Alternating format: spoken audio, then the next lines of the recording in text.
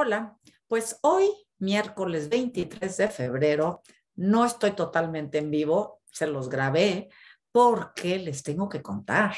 Voy a ir, o estoy más bien, no voy a ir, estoy mientras ustedes están viendo esto en San Ildefonso. ¿Por qué en San Ildefonso? Porque es una exposición de mi querido amigo Rafael Cauduro, uno de los pintores más importantes del país, y este, y, y pues eh, los quiero mucho a todos, a él, a su familia, a y no podía yo no estar compartiendo con ellos este momento. Y este, entonces, pues les quise compartir, les quiero mostrar, si, si nunca han visto nada de Rafa, esta es una, una eh, les puedo, les voy a compartir un poco para que vean de qué se trata la obra de él, ¿ok? Y entonces, este, nada más que, ya ven que luego yo tengo problemas con la tecnología, ¿verdad? Pero pues aquí les pongo que quiero compartir la pantalla y no me quiere, ajá, ya me apareció. Pero bueno, ustedes disculparán. Esta es la página de Rafa eh, Cauduro y vean, tiene formatos de murales en la Suprema Corte, por ejemplo. Entonces están los murales, tiene obras de gran formato, tiene dibujos, tiene obras en, en, vidrio, tiene muchas cosas. Les voy a enseñar, por ejemplo, algunas de las obras en gran formato para que vean de qué se trata y si por ahí se les antoja este, echarle una mirada, pues es una, una, una buena manera de conocer autores.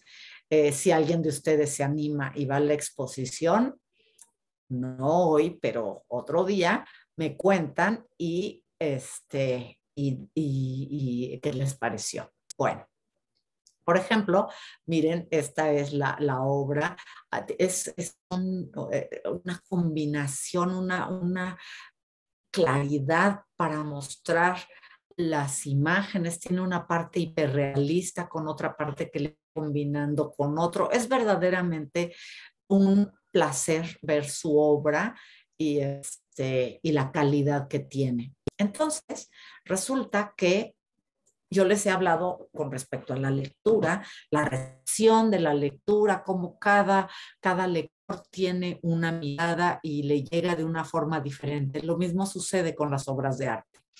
Llegan, nos llegan de maneras diferentes y cada uno depende de sus experiencias, del momento, cómo está, interpreta o siente determinada obra. Eso es una de las maravillas que los libros, la lectura, las obras nos las dan, eh, nos ofrecen esta posibilidad. Entonces, pues no quería yo dejarles de mostrar, por ejemplo, las obras para que ustedes puedan ver. Tiene una parte macabrosa, ¿verdad? Este, miren nada más. Y este,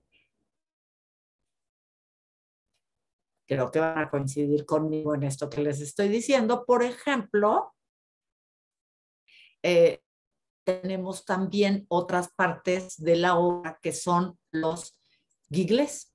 Y estos gigles es, es muy interesante porque son obras que si bien no son la obra eh, original, parecen muy cercanamente y están firmadas por el autor.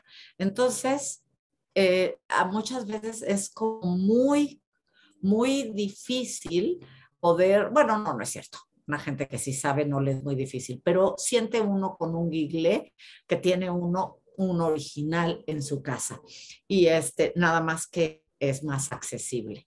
Entonces, bueno, pues ya que les platiqué de dónde estoy ahorita, bueno, no ahorita, pero ahorita que ustedes lo están viendo, les quiero platicar y quiero hablar de libros y cómo poder invitar a los chavos, a los niños más bien, a qué es un museo, cómo mueven estas emociones, justo que les estaba yo diciendo, eh, que nos despierta. Y este libro, Mi Museo, de Editorial Letra, eh, eh, de Joan Liu es muy padre porque ah, nos va llevando a lo que es una visita del museo. Nos va a enseñar unos cuadros y al final nos va a decir qué autores son esos cuadros, ¿no? Pero entonces tenemos el libro y llegamos al, al, al museo, digamos, ¿qué pasa cuando uno llega al museo? Pues hace una fila, va a entrar. Aquí tenemos a nuestro personaje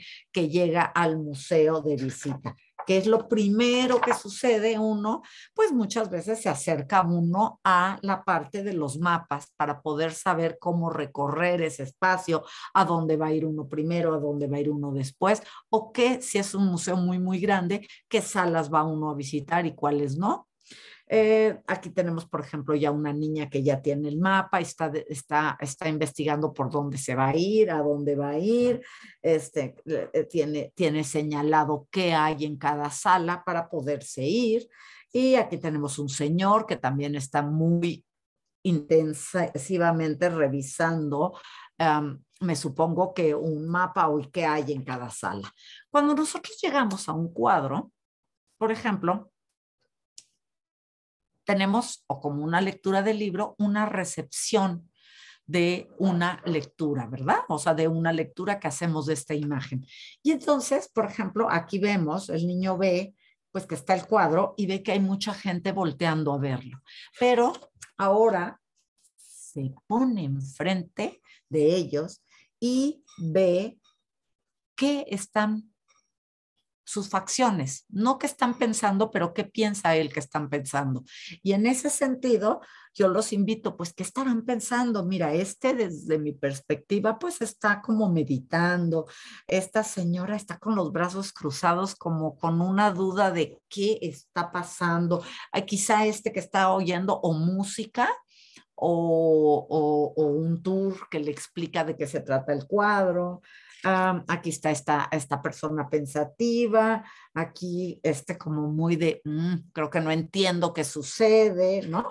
Y eso pasa y luego se van a otro, miren este cuadro de quién será, y, este, y tenemos como, es un cuadro que está arriba y cuando te acercas tienes que voltear hacia arriba la, la imagen, para, bueno, tu cara para poder ver el cuadro, este, qué pasa con las esculturas, eh, los diferentes aspectos o, obras que pueden encontrarse en un museo y las reacciones de los que están yendo al museo con respecto a esas obras que ven, ¿no? Por ejemplo, hay museos que tienen actividades para los niños, eh, donde van, van, van jugando con estas actividades eh, mm, de moverse, de integrarse a las obras. Aquí, miren, esta niña está pensando y, el papá abuelo es así como, mm, a ver, ¿qué pasa?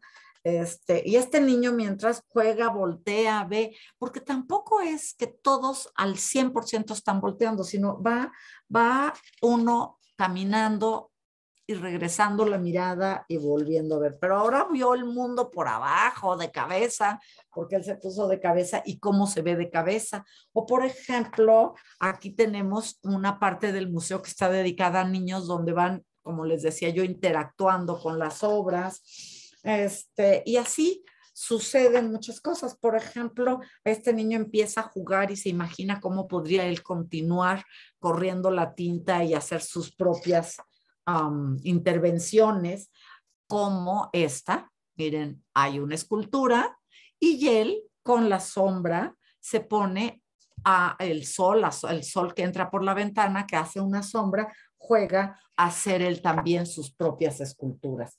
Y así es esta visita hasta que salen y se van a casa.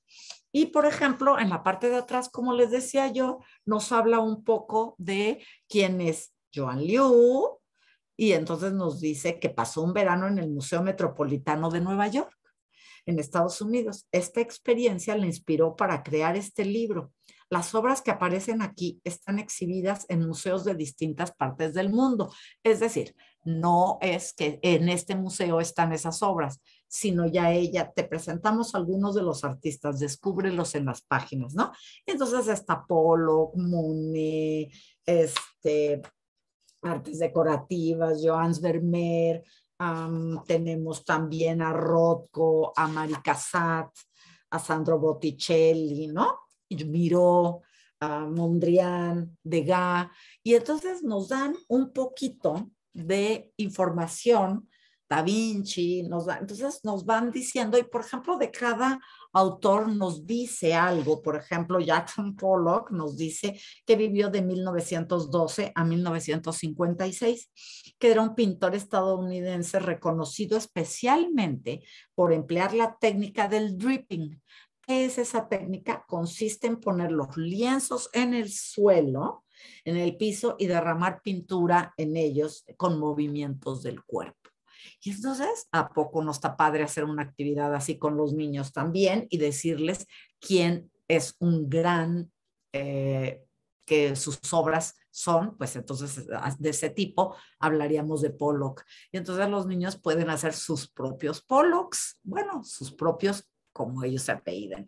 En fin, esto es porque creo que la lectura y la ida a un museo se parecen mucho. Y como yo estoy ahorita justo en, en un lugar donde se están exponiendo cuadros, quise compartir con ustedes también cómo libros nos invitan a aprender, nos invitan a relacionarnos con nuestras emociones y con lo que sucede cuando visitamos un lugar de arte, como en este caso un museo o una galería, y cómo también lo podemos hacer. Yo les mostré de Rafa Cauduro sus cuadros en una página, en Instagram, pueden seguirlo también si les interesa o les gusta lo que, lo que ha hecho. Y, este, y bueno, pues eso es más o menos de lo que los quería platicar. Por hoy va a ser todo. Espero que les haya gustado esta mini cápsula de arte y museos que hice para ustedes. Y mañana nos vemos en Arlene y Manimar. Se aman porque seguimos en el mes de la amistad y del amor. Gracias mil, que les vaya muy bien y hasta mañana.